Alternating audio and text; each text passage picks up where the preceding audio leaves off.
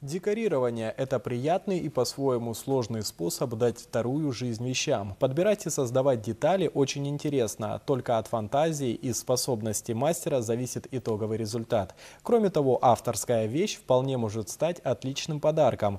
Так для жительницы Петропавловска Натальи Ереминой любимое занятие переросло в хороший источник дохода.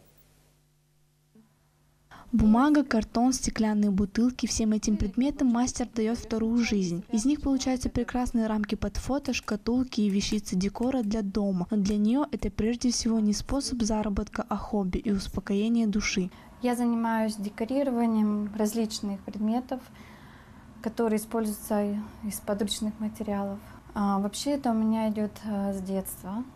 Я очень люблю что-то украшать, что-то переделывать бы это мое хобби. И так вот начала. При изготовлении своих работ мастер уделяет большое внимание украшениям. Больше всего ей нравится морской стиль, но фурнитуру в нашем городе найти сложно. В общем, на работу уходит 6-7 часов. Я очень люблю морскую тематику. Какие-то ракушки, какие-то камни. Ну, конечно, покупала что-то. Есть магазины у нас э, в городе. Ну, что-то еще собирала на море, какие-то ракушки, камни как бы вот шишки собирала вот в лесу, как бы с подручных материалов, как говорится, все.